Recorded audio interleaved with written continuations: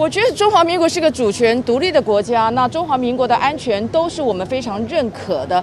我不晓得这是天经地义的一件事情，有必要来做一个额外的仪式来做这样的一个签署。我觉得经济党应该去找我们三军统帅先签署了，这才是一个比较能够达到他们目标跟目的的一个方式吧。所以我们可以理解他们想要蹭声量，不过我还是强调哦，保护中华民国还有中华民国，我们是绝对是认同的。那有有没有必要做这样一个额外的一个动作？我还是强调。请经济党的人搞清楚对象，三军统帅才是应该签署第一个签署的一个一个目标。啊，你那个前几天在媒体专访的时候有提到说，选情的艰困哦，比想象中还要艰困。然后你说一。生中的挫折，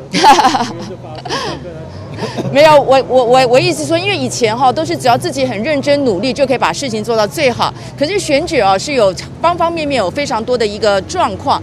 那的确，这个到高雄来选战是比想象中的是一个辛苦。但是就像诚如我们今天看到很多的议员，他们在地方扎根的非常的深，跟他们联合站在一起来做统一的一个战线。我相信这个选情会慢慢的，特别是在九月、十月的时候，一定可以慢慢看到。一个不一样的一个成果。